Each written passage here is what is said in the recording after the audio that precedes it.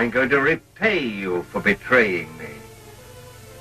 I'm going to give that brain of yours a new home in the skull of the Frankenstein monster. The uh, jugular vein is severed. Not cut, but torn apart as though by powerful teeth. A werewolf.